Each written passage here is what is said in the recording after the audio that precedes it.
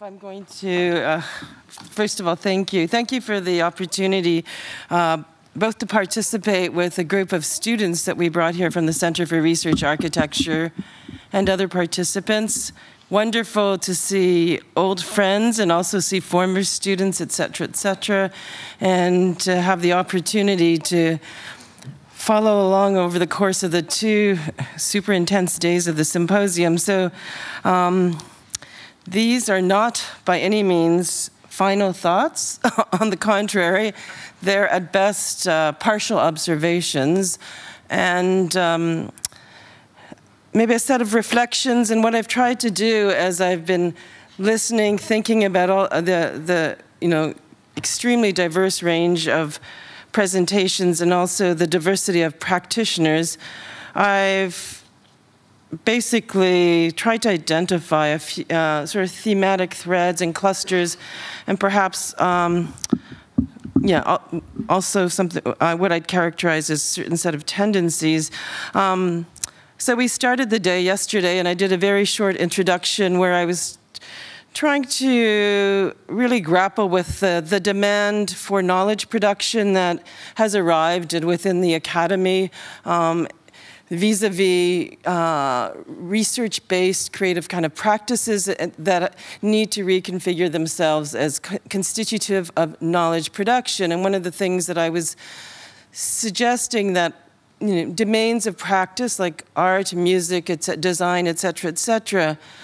that these kinds of practices and actions, though we might understand them as coming back to the us as knowledge at certain times, that they also come back to us as other things, as provocations, as propositions, as anger, as demands, political demands, as experiential encounters, as perceptual events.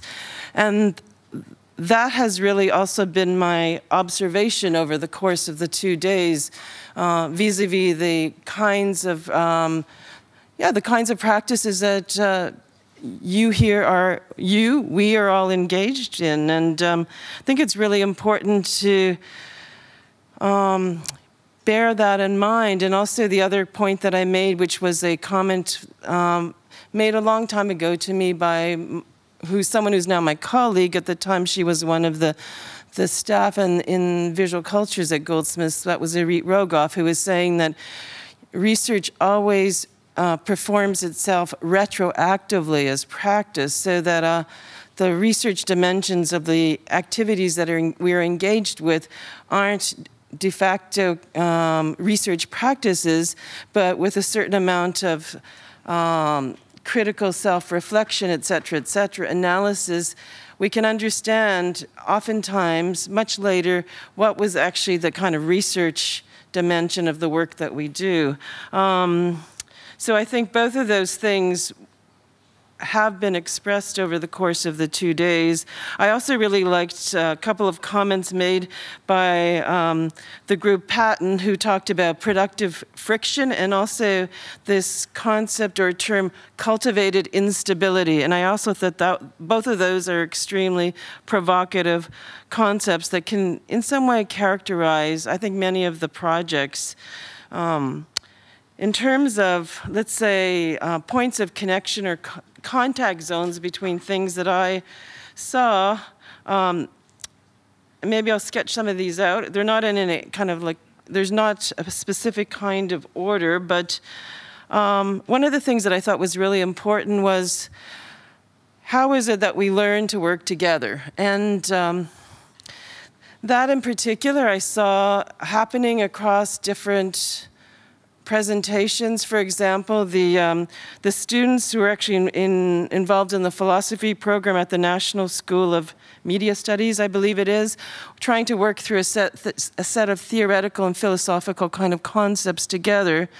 Um, certainly, the students that presented from our center, the MA students who presented their investigation, um, which which was uh, which was looking at human rights violations in off the coast of Australia, um, asylum seekers who were be, being either turned back, who and or turned back as in set adrift in very kind of uh, dubious uh, lifeboats scenarios, etc. Also, who might find themselves in detention centers. So those MA st students who work together to produce an investigation that is now in the hands of a, a set of international lawyers working at Global Legal Action Network, and their investigation was called "Unless the Water is Safer Than the Land," and I think they did a great job. Um,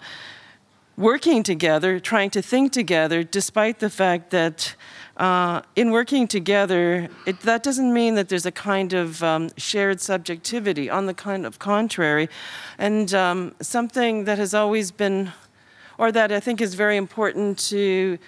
um, to stress is that when we attempt to work together, it's, we also have to be, I think, committed to a politics of incommensurability. That to see, how is it that we actually uh, recognize our kind of radical difference from each other and actually um, not attempt to produce a sort of artificial kind of framework in which everything is uh, rendered to, and has a certain status of equivalence. And that would be very much what I would see as the sort of, that is the kind of dominant model of the marketplace, which is always trying to produce conditions of equivalence across domains of uh, incommensurability, if you will. Um, so to me, learning to work together, uh, the presentation from this morning, Sensing the Shipyard, I thought was another fantastic example of students and teachers uh, working on a site um, and then trying to, you know, how do you actually collate that research? How do you actually, when you're trying to do stuff that deals with uh, in their case, they were working in a site that the scale of which was quite um, uh, disproportionate, a shipyard in relationship to the scale of the sort of human. And also they were using different kinds of microphones and, etc., and sensors and really trying to tap into other sort of registers of, of perception.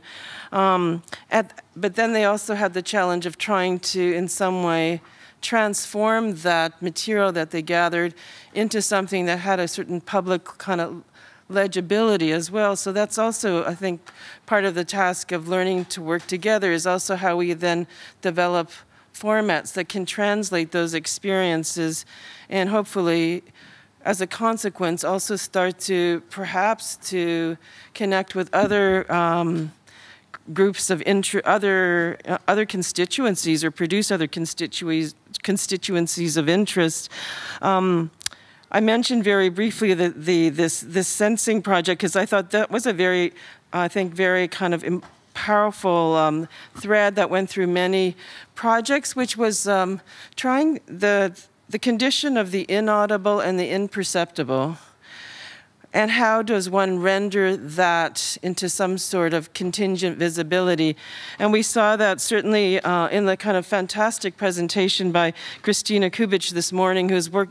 who, who's working with the electromagnetic spectrum and, and all her electromagnetic kind of or walks that she was doing and a kind of long career of trying to tease out the sort of ambient electronic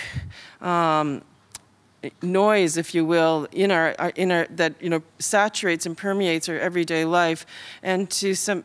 create the conditions where we actually have some sort of awareness of these other sort of atmospheric um, conditions that are very are powerfully operative. And I, something that if I had asked her a question, I thought it, it, one thing that came to mind was. Uh, and for those of you who are there that, um, for her presentation, this tapping into the electromagnetic spectrum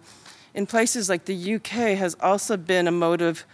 policing. So the London Met, so the London Metropolitan Police have a have logged an entire archive of the sound signature of the mains hum, so the, the electromagnetic spectrum of the electrical infrastructure in the City of London. So if you call, if you make an emergency call and you call 999, one of the ways in which you can be located, geolocated, is through the acoustic signature of the environment in which you're standing and making the call. Now that can be beneficial, but we can also understand the ways in which that acoustic signature that is imperceptible to you and I can also be used in other more kind of co coercive kind of ways. So tapping into the, the realm of the imperceptible is also, you know, can be weaponized, of course, and, and there would be many kind of examples of that. But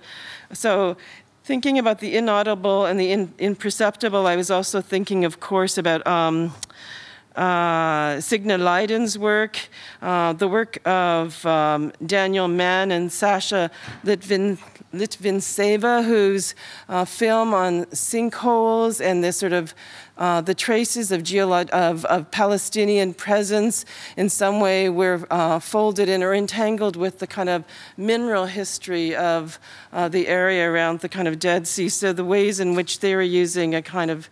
uh, using uh, cinematic kind of language and also an acoustic kind of language in the sound design of the film to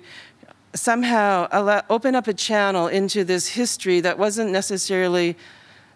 uh, you know, explicit anymore in the landscape. Certain there, there were sort of no presence of the Palestinian body and very little kind of uh, uh, trace of that, that sort of historic occupation or uh, inhabitation of that land. And yet, through the use of certain kinds of um, cinematic language and acoustic kind of language, and, and the sort of, I guess, the um, perhaps the, the trying to sort of work with matter and matter as kind of expressive uh, or has that matter has the capacity to somehow register to these traces. I, also thought that that was working in that project there. There was others that I um, I'm, I hope I'm pronouncing everybody's name correctly. So Birgit Bachler, who was, I thought that was a, a great project, which was to um, a project around the uh, sort of forgotten streams that were, I can't remember if it was, was it the city of Wellington or um, on the North Island of, of New Zealand, the ways in which processes of um, colonization, but also processes of urbanization had transformed the landscape. It had also covered over uh, traces of indigenous presence, so in this case, the, the environmental systems. And I come from Canada, and that's very much the same operation. So maps no longer carry indigenous names, streams have disappeared, et cetera, et cetera. And there have been uh, quite a lot of art projects that have tried to um, tried to produce the conditions whereby we can have some awareness of that that extremely kind of violent process. And I, I saw a project once where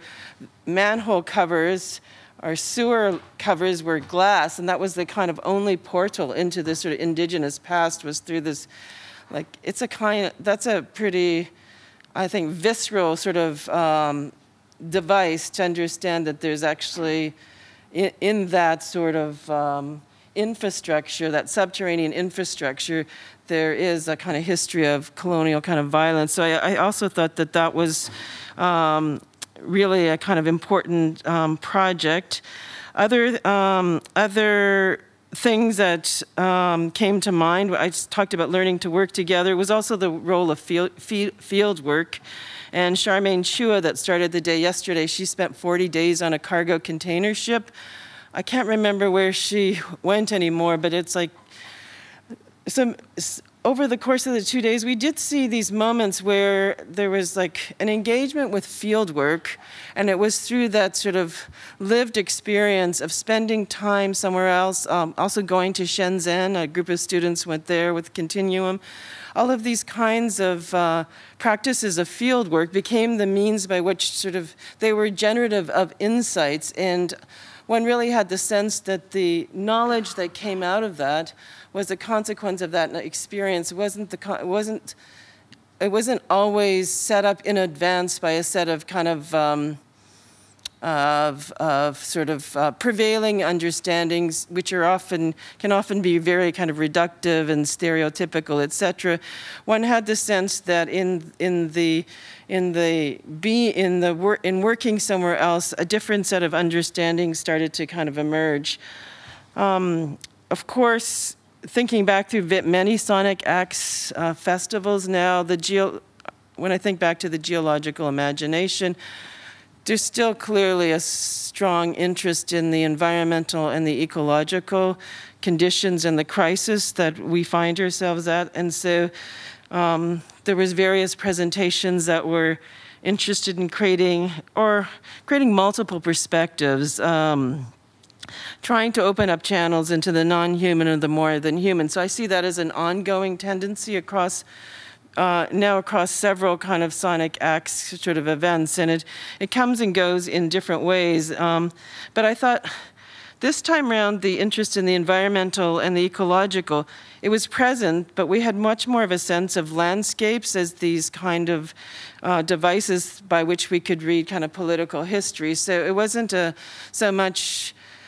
uh, work that was trying to confront the Anthropocene and global warming per se, but it was looking at how environmental transformations became um, in some way could offer as a palimpsest in which like densely encrypted sort of histories were contained and efforts through the projects to somehow tap into that. Um, I also appreciated the, the projects that were really trying to look at the role of fiction. So this morning we had a fantastic uh, session with Jennifer Walshe and all of the work that she was doing around the, trying to think about an Irish science fiction tradition, but um, and I thought this is really important um, because the role of fiction, the role of, um, um, and this came up again also in the in the interview with Mother Moore because it's not so much fiction as simply that which is this sort of fabulation, but it's it's looking at the ways in which other domains of um, of practice, like they can be writing, poetry, music, et cetera, et cetera, they actually carry information uh, that can be really kind of significant. And we, and so, for example, I think, uh, I think a useful example to consider is the way that contemporary climate scientists are actually looking at literary works to understand. Um, so they might be looking at tourist uh, narratives from the Victorian era, or they're looking at, or they might be looking at, in the case of the Netherlands, the sort of rich legacy of landscape painting from the 16th century. So they're looking at cultural objects as reservoirs of uh, really significant information that can help them understand sort of the past conditions of, of, of, of, of weather systems, of climatic conditions. So we haven't, we have the, the role of fiction, in this case, I'd say, is here's a great example where a, ficti- a role of fiction or a work of fiction could actually be productive of research retroactively. We can read a literary work and we can actually have some insight into the, say, temperature of the Earth uh, a few hundred years ago. So uh, I think that's another really important, I think, um, um, it's really important to think about cultural works as harboring different kinds of information uh, and that and not necessarily knowing the specific relevance of that project in its time its relevance may shift quite dramatically. And in fact its relevance might be more urgent in times to come than in the very kind of moment in which it's actually um, made. Another couple of observations would be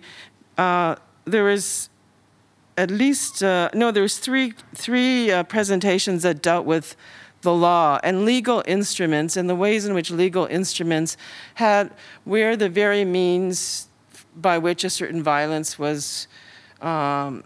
enacted. So in the film and performance uh, work that we uh, saw today by Nicole Hewitt in relationship to the um, her work in Vukovar and in the working with the International Criminal Tribunal for the former Yugoslavia, Rana Ham, Hamadeh, who is talking about the case of the Zong and the origins of um, um, it, it's Lloyd's Bank, uh, and they merge out of the and they're in, the the whole world of insurance emerges out, out of this kind of very infamous um, history of the slaves being thrown kind of overboard. Um, and but her interest in uh, questions of justice and um, and as, as, I said, the students that are, our MA students who are actually working with a set of international. Um, uh, international human rights lawyers. Um, so I think these projects that are really looking at the ways in which legal instruments are who we might have tasked with the with the job of actually delivering some sort of justice, that legal instruments and um, and even like insurance uh, legal instruments that encode themselves in things like insurance policies actually are the very means by which a certain violence is actually perpetrated. So rather than the means by which we might achieve some sort of justice, they're, they're, they're, the, they're the instruments that actually are producing the kind of injustice. And certainly myself, I've done a lot of work for many years in the ICTY, and the, I'm absolutely convinced that uh, the law is not the place where we secure justice. On the contrary, the law is incapable. It can pass judgment, it can pass fines, but it cannot produce the justice that uh, communities need and desire. Um, and I think the um, maybe the other sort of um, element that appeared time over several over many sort of different presentations was infrastructure and uh, and in the case of Solveig Suess, and I think Solveig's still here, and Solveig is a former MA student, and uh, it's great to see her project, AAA Cargo, and, and hear her talk about it again. And, and so we see the kind of uh, an infrastructure that is in the making in, uh, with the new Silk Road in China as it's moving in, and, and going to create its kind of um, economic corridors into um, Eastern Europe and then into sort of Central Europe. So we have this infrastructure on the horizon that is in some way, in Solveig's work, it's, always, oh, it's also in some sort of almost like a mortal battle with like the sand and the erosion that is constantly troubling this sort of smooth flow of kind of capital. But we also see that infrastructure in, uh, in the film Solarium where we see much more of a kind of um, a, you see a certain kind of failing kind of infrastructure. Um, Charmaine Chua talked about sort of monstrous kind of logistics, and so um, I, it's I think, and, and Nora, uh, Nora Sternfeld in her um, keynote lecture was also talking about infrastructure, and that was one of the words that they were trying to unpack at the kind of Bergen Assembly. So it really, I think, logistics and infrastructure and the you know and and people have talked about how we might queer the logistical chain and I, I so it seems that right now that would be the kind it, it's strange like these certain moments that's kind of galvanize um, they galvanize a set of people around them and they're not you know artists or one of the sort of might be one of the sort of stakeholders but um, so logistics and infrastructure seems to be one of those um, areas of research interest, but um, how am I doing for time? Okay, and maybe the, the, I'll just wrap up by saying two sort of final things, but I feel like the work that is being, um, the work that is trying to actually somehow grapple with this, whether we're talking about like cloud computing, so like all kinds of computational infrastructures or extractivist practices that are dealing with, sort of very, is much more kind of like uh, with mining practices or setting up IT, uh, IT infrastructures, et cetera, et cetera. Um, the work that we did in the port of Rotterdam the other day, um, it throws up a kind of incredible representational challenge because these are not infrastructures that one A can actually, you can't capture them in an image or in a single kind of sort of soundscape, but nor can you, they're actually difficult to access. So there's a kind of asymmetry of scale that's so profoundly kind of, I think is just incredibly kind of challenging. And, and I really have no sense of how we're actually going to manage that um, asymmetry of scale and also manage other asymmetries, asymmetries of information. And I think the film, Nicole's film on the ICTY, really also touches on that, the personal experience that you have um, vis-a-vis war crimes and yet the kind of the asymmetry of information that is the kind of legacy of a kind of bureaucratic tribunal system. Um, so that's so infrastructure insofar as it raises kind of acute representational challenges I think would be something I might want to end on. And maybe the final thing I will say um, in wrapping up, and I was thinking about this actually with some of those presentations around um, experimental, um, you know, augmented reality, the production of like highly experimental kind of digital um, image and soundscapes, et cetera, et cetera, was and uh, and I, how would I how to phrase this? I was thinking about the production of these worlds, and this is also, of course, something that we do in fiction writing, or in you know the making of a, a film or video, et cetera. It's at the production of these novel um, and alter, maybe they're alternate worlds or in Afrofuturism, et cetera, et cetera. The, but the production of these worlds, I think that's really kind of crucial. But I think we have to hang on to, if we're going to think about world making, I also think that at every moment we have to think about what is the world that exists when, um, you know, you know, what is the a world um, that exists when uh, a child washes up on the shore from a refugee crisis. We also have to look at the ways in which that incident and that event exists in a particular kind of world. So even though we might be fabulating, creating, imagining, producing different sort of conceptual uh, cosmologies, et cetera, we also, I think, really have to think about what are, what, in what kind of world could certain kinds of events take place? And, and maybe that's just, I think that's the final comment I so would like to end on. So world making, but also understanding very particularly the conditions that allow certain kinds of events to take place, they take place in real spaces, in worlds that we've produced. And I think we also have to understand what kind of world could certain kinds of activities actually take place in and not just produce other worlds. Um, so maybe I just leave it at that. So those are my sort of reflections on, on the past two days. So thank you very much.